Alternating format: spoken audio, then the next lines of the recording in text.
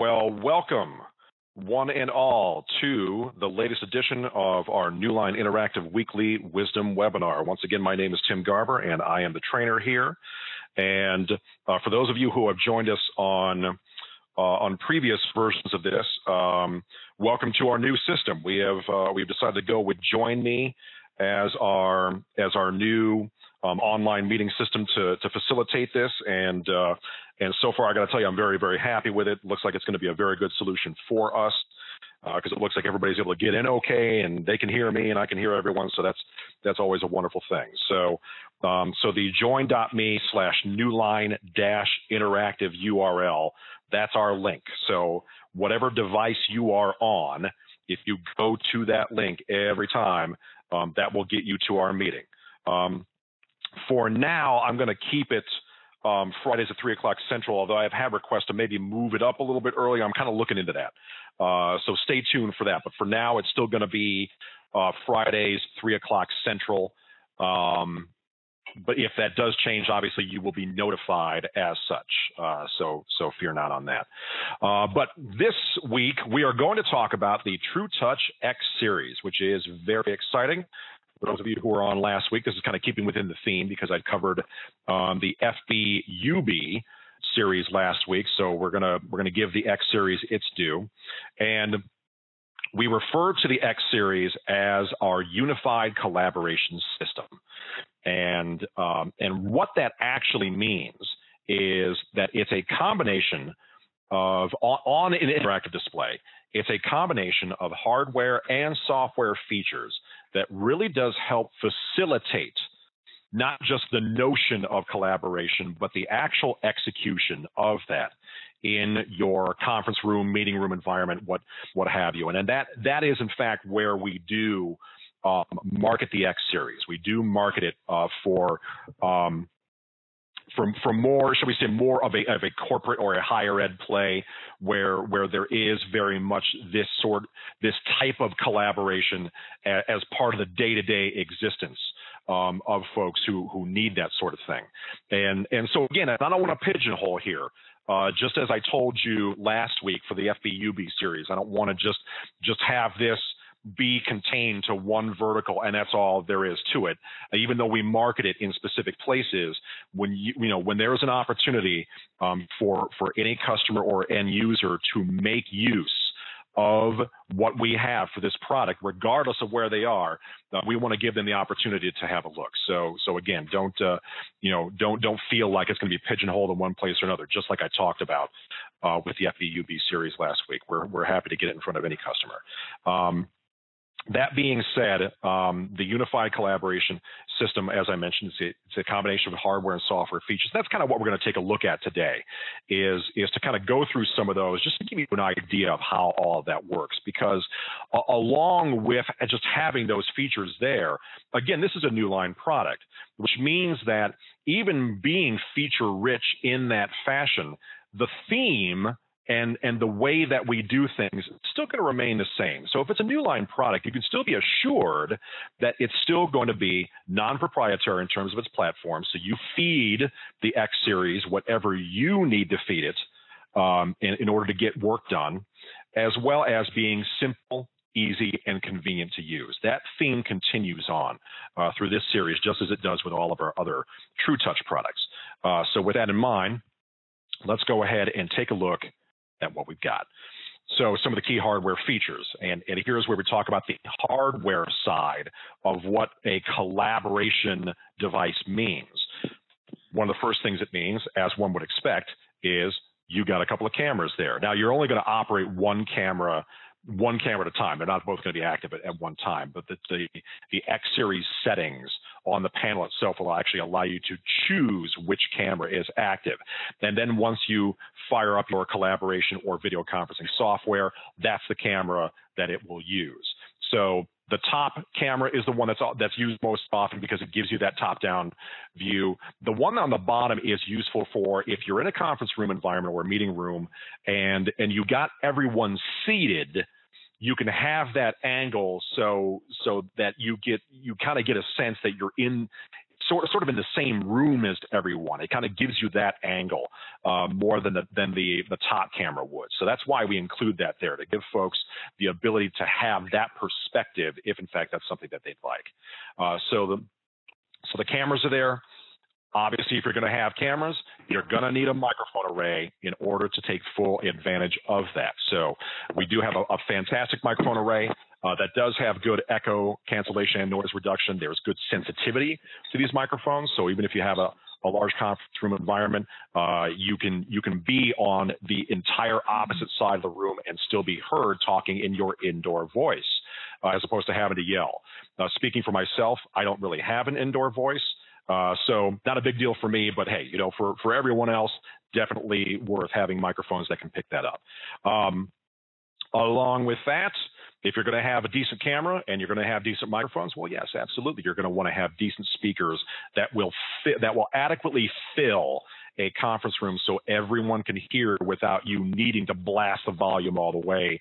Um, and and the problem with doing that is if you have a device that can't really fill the room and you do have to blast the volume all the way, you know what that sounds like. You get all those tinny uh, sounds and, and the harmonic distortion that comes with that. But the good news is with the X series, won't get that. Be nice and crystal clear all the way through. So, so on the hardware side, that's part of the process of having this collaborative environment, having the hardware in place right there, built into the X series, allowing you to do that, whether we're talking a simple meeting or a brainstorming session or a class or what have you, uh, having those features available to use and having that easy to access.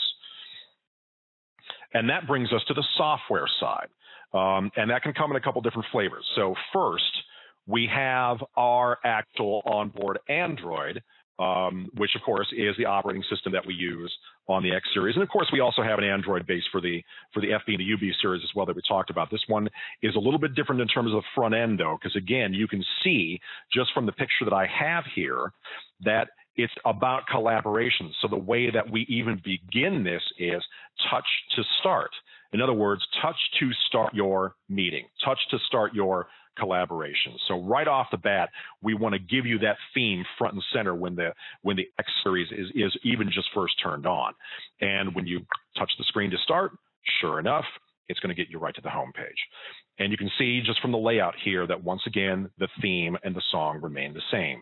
It's about getting you to your collaborative environment as simply, easily as possible with the fewest touches or clicks needed to make that happen.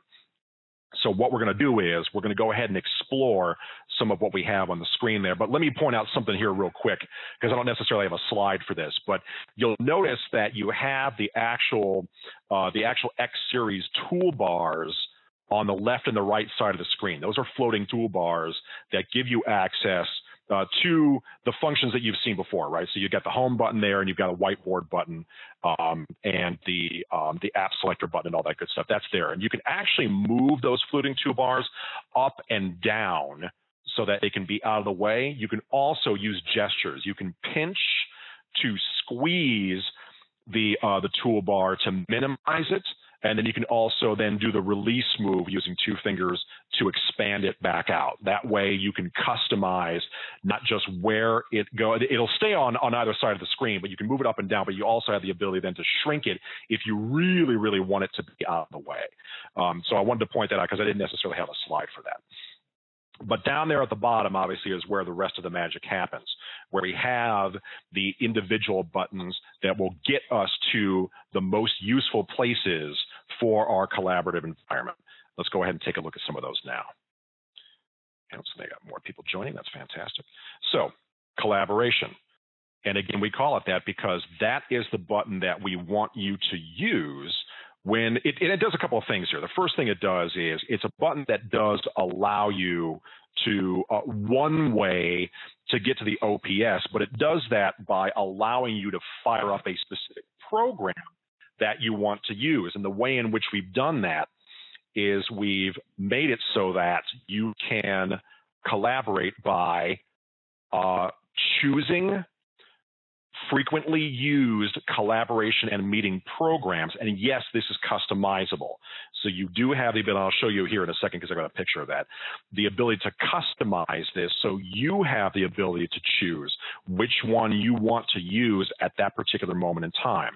And it does allow you to enter the same meeting program as the one that you use last with one touch. So it'll remember the last one you used, and then one touch, you can go right back to it. Or if you want to choose a different one, no problem. You have the ability to do that as well.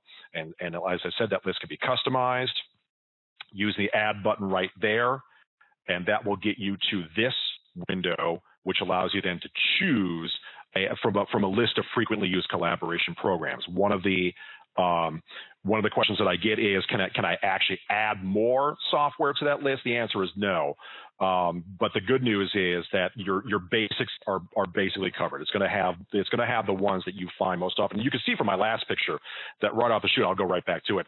That you got Skype, you got Zoom, and you've got um, well, that's the old Lync Nobody uses Lync anymore. It's all about Skype now. Skype for Business would be the replacement to that. So, so some of the most frequently ones are already going to be there for you.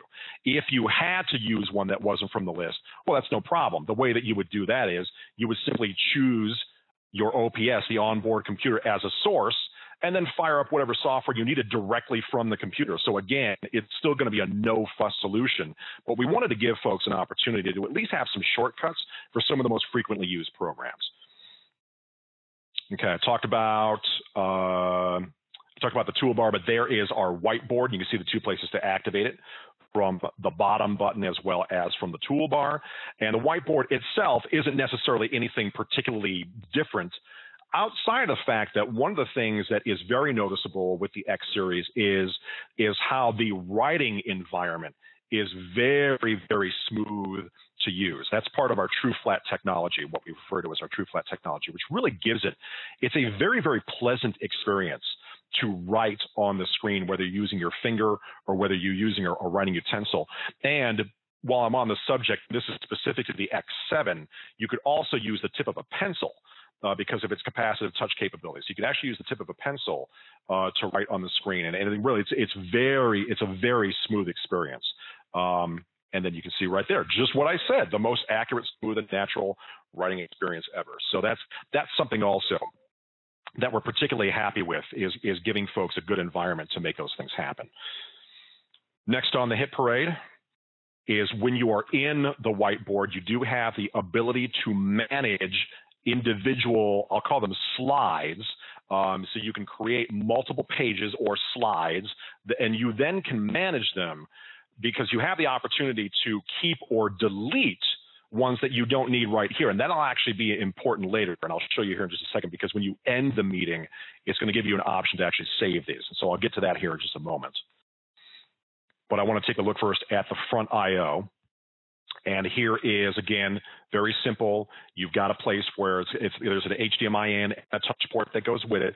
So if you have a guest that comes in with a laptop, very simple to get connected that way. It also has a USB for uh, the onboard uh, for the OPS, as well as a USB that you can use for Android if you want a thumb drive in order to, to get information off the Android system. Uh, it's there for you as well. So very, very convenient to use right there on the edge, uh, the lower left-hand corner of the bezel itself. And I've talked, uh, again, I, I alluded to this, the end meeting component. And what's particularly uh, notable about this is when you are ready to end your meeting, your session, your collaboration, whatever you want to call it, and you touch that button, what's going to happen is it's going to give you this window that will allow you to choose if you've done stuff on the whiteboard. It will then allow you to choose uh, individual pages that you can then save to a thumb drive or an SD card, allowing you then to keep a hold of that information. Because when you actually end the meeting, like for real end, um, notes and annotation will actually be deleted because that's that's for information security. So that's actually built into the system to not keep anything that was done for that particular session. But you do have the opportunity to keep those things on another device if you wish to do so. Uh, so that's the important part about that, and, and that's what will end the collaboration session. And here are some X series basics. And so we've got the 55 inch X5 70 in the X7, and then the 86 in the X9. And the X9 is also a 4K model. Uh, so those are a couple of basics there for you. Uh, while I am on the subject of the X9, well, wouldn't you know it? Uh, oh, I, am sorry. Actually, I got excited because I actually have one more slide here. This is kind of a summary of what I have already talked about. Um, so again, high quality camera microphone array, speakers, the onboard PC is included as part of the package. You use the collaboration software of your choice. We will never force you to use one piece of software or another. Smooth, easy to use whiteboard. Very, very wonderful surface for annotating on documents. Our TrueFlat technology making it an attractive display for that. Now, we can talk about the X9. Yes, it, it has its own section because it deserves its own section. Um, the X5 and the X7 are, are, are, wonderful products in their own right, and they and they definitely have their place.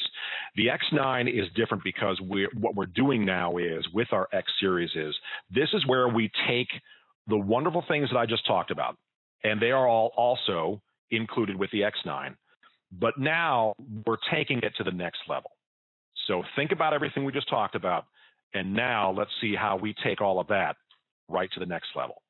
The home screen is just a bit different, as you can see here. So the collaborative environment and the theme of this is the same. So we want to give folks the same look, the same idea, the same philosophy that we've had up to this point. But because we have some additional features with the X9, we've made some changes to this interface in order to accommodate those. Now, everything that you already know is pretty much obviously right there. There's a button that gets you right to the Windows OPS. There's a button there that gets you to other sources. There's a button that gets you to the to the whiteboard. We refer to that as discussion. The gadgets, which are some of the onboard applications, and and a file viewer, which I will talk about uh, in a moment because that's that's a wonderful. I don't have a slide. I don't have a slide on it, but I will I will talk about a little bit more here in just a moment.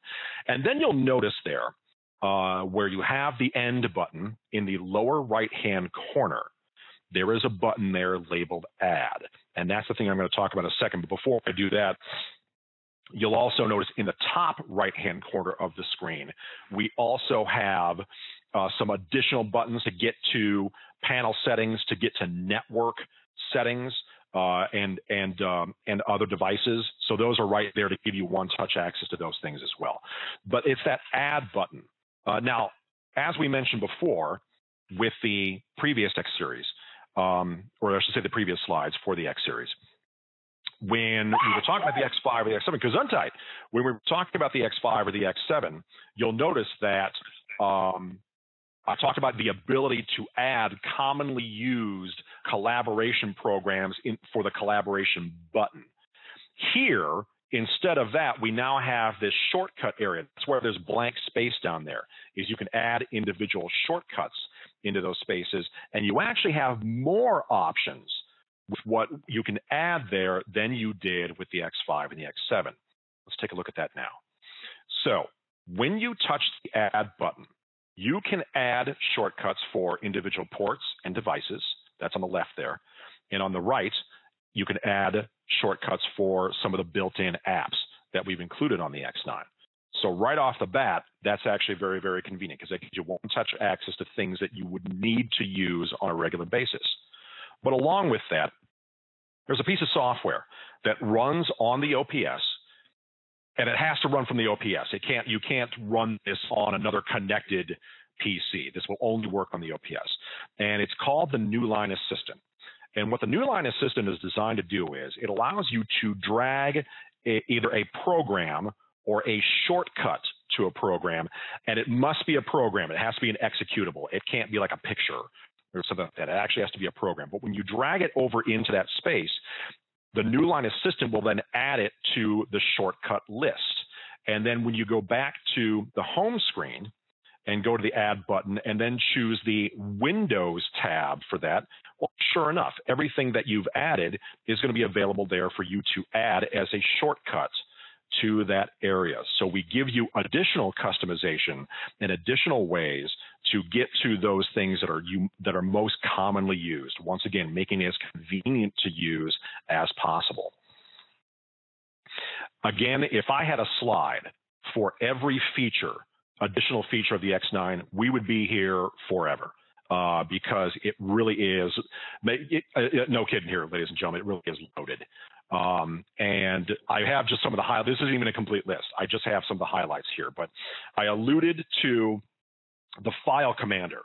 Um, earlier. The file commander is wonderful. It really is a very comprehensive and intuitive way to to use uh, the cloud service of your choice, as well as a great way to share and store information and files, and to do it in a way that is is very very familiar. Because again, it's it's an Android it's an Android based OS, therefore it has that very kind of a I guess I guess one way to look at it would be kind of a Googlish theme in terms of how the file commander is laid out. Again, I don't have a slide for it, but if you if you've ever seen like say uh, the screen for OneDrive. It has a similar look to that.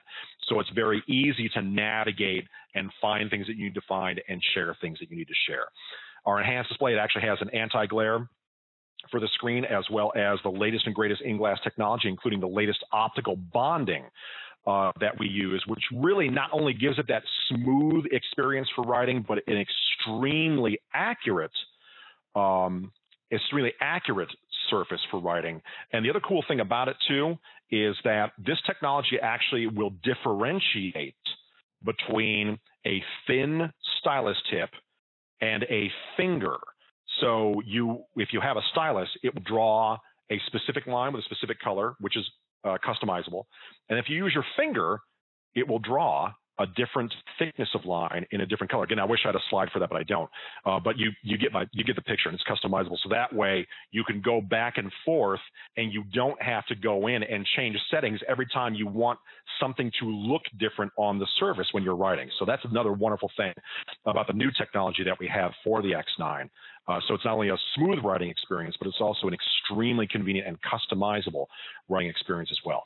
We got the public USB ports on the I/O the front I/O rather.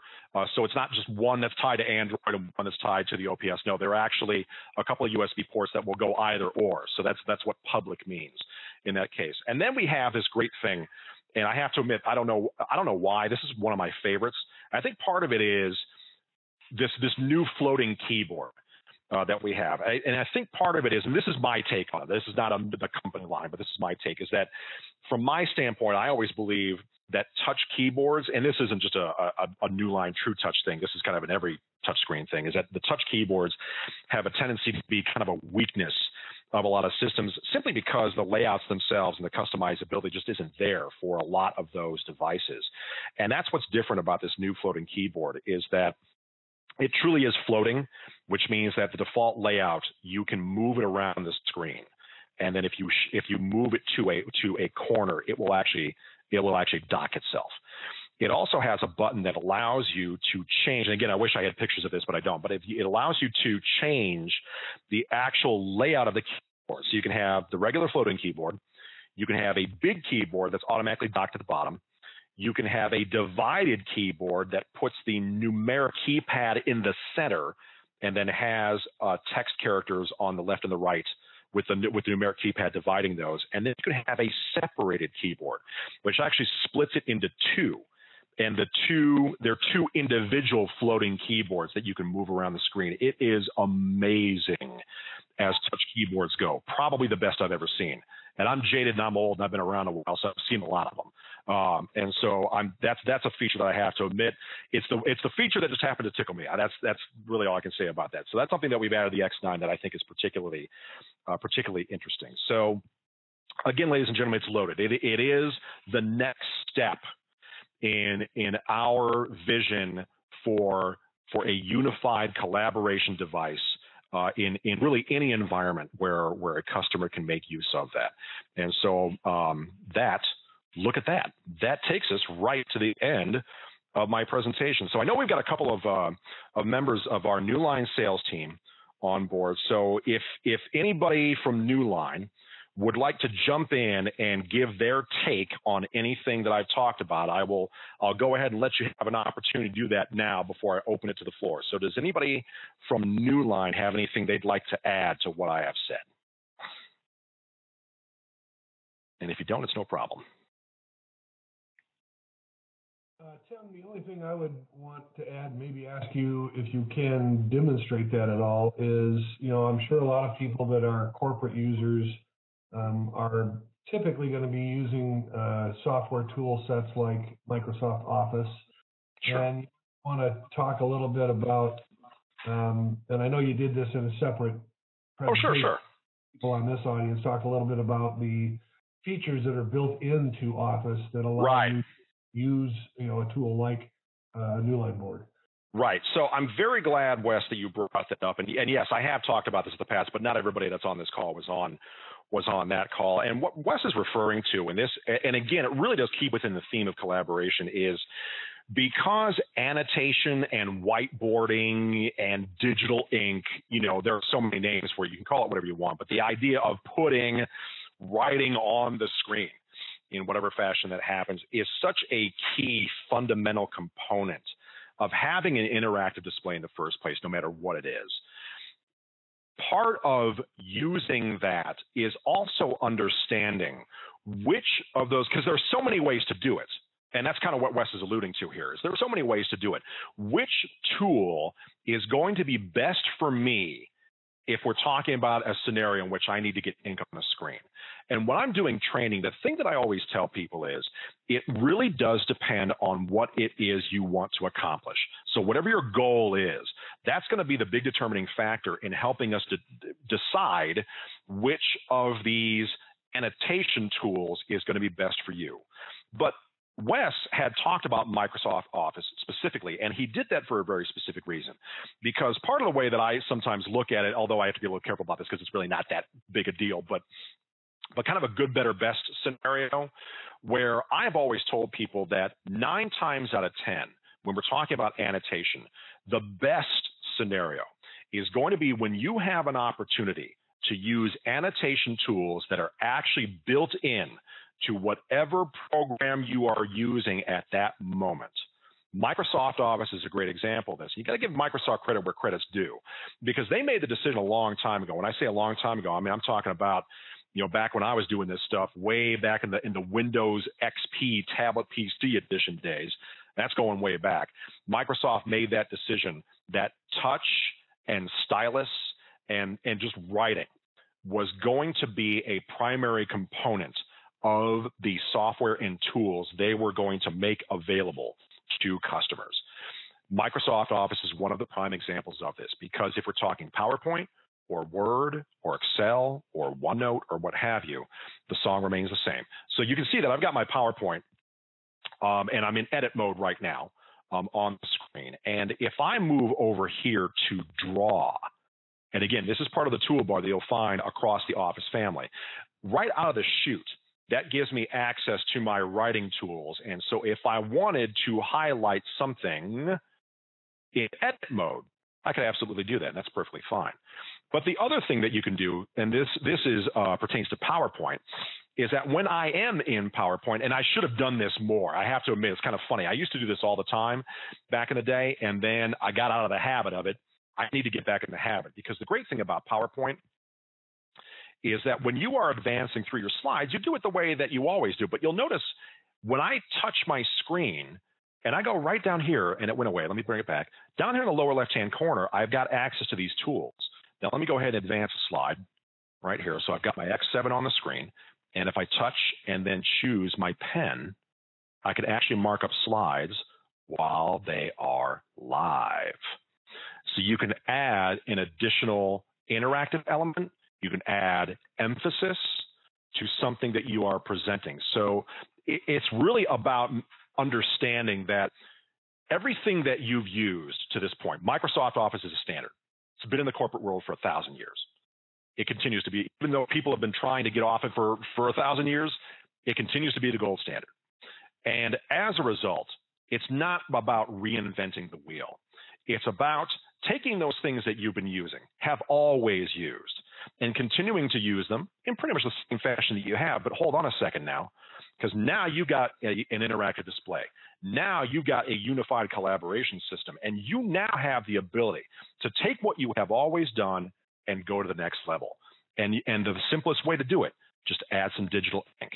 And you'll be amazed at what you can accomplish by having the ability to make that happen. So thank you, Wes, for bringing that up because uh, it is a very important point. So that's that's good that uh, that uh, we got a chance to, to show folks that. Any other questions, comments, or concerns about anything or anything I've talked about for that matter? I will now open the floor. Don't be shy. And by the way, if you are shy, no problem. You are more than welcome to ask us questions offline. That's absolutely no problem. Um, but I'll give folks a minute here. Any any questions, comments, concerns about the X series? Okay. Well, in that case, ladies and gentlemen, I want to once again thank you for joining uh, us here at Newline Interactive for our weekly wisdom webinar. There will not be a webinar next week, because next week is a holiday, uh, but we will pick it up um, the following week. Um, so, so no webinar next week, but we will have one the following week. I want to thank everyone for joining us this week, and I hope to see you on the next Newline Interactive weekly wisdom webinar. Have a great weekend, everyone.